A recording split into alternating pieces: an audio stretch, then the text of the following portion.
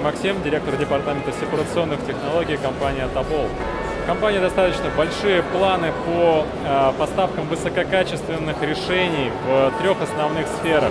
Промышленный холод, э, газовая и воздушная компрессия, а также сепарационное оборудование, где мы предлагаем нашим заказчикам высококачественное решение под ключ, как в проектировании, так и в поставке оборудования и запуске, входе в эксплуатацию с дальнейшим сервисным обслуживанием. При этом предлагаем высококачественное оборудование, которое способно заменить и успешно заменяет ушедшие европейские бренды.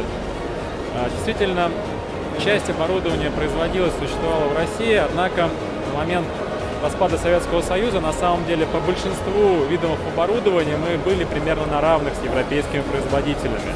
Однако далее наша промышленность, к сожалению, тормозилась и, и разваливалась, а европейская шла вперед.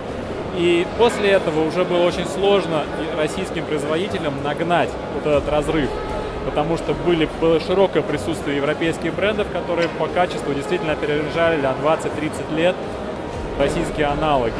Сейчас ситуация изменилась. Сейчас э, у нас открыты двери для налаживания собственного производства и развития наших отечественных э, решений, не уступающих по качеству европейским аналогам. Я уверен, что мы с этим справимся и все впереди. В горизонте примерно 5 лет мы уже наладим производство э, качественного российского оборудования, а учитывая, что рынок России его потенциал, он является максимальным э, в настоящий момент по росту среди всех европейских стран, то вполне вероятно, что в горизонте 10-15 лет уже российское оборудование, за ним могут охотиться европейские компании, потому что оно будет и высококачественным, и конкурентным по цене.